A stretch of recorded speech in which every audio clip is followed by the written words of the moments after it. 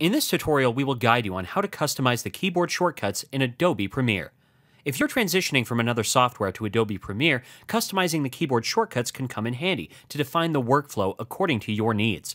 For that, simply open up the Edit menu and click on the Keyboard Shortcuts option. With that done, a new window will open up displaying a list of commands and shortcuts. Right at the top, you have different keyboard presets available. If you click on the drop down menu over here, you can choose from the different presets available. So, if you are used to Final Cut Pro or any of the previous versions of Adobe Premiere, you can choose that option and the keyboard shortcuts will change accordingly. Let's choose the Avid Media Composer 5 option, and notice that the shortcut key for moving to the next edit point has changed from the down key to S. Moving on, you can even customize each and every shortcut key individually. For example, let's move to the title section and open up the new title menu.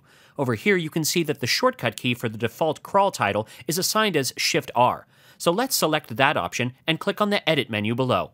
With that done, the shortcut field will become editable. Let's put in Shift C over here and save the changes made. With that done, let's move the seek bar to the area where we want to add a crawling title. Here, let's press the Shift C key. With that done, you can see that the new title window opens up.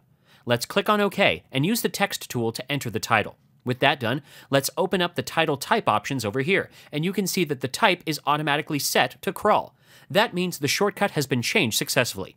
In the same way, you can change the keyboard shortcut for each and every different feature in Adobe Premiere. Thanks for watching. This was a HowTech.tv tutorial.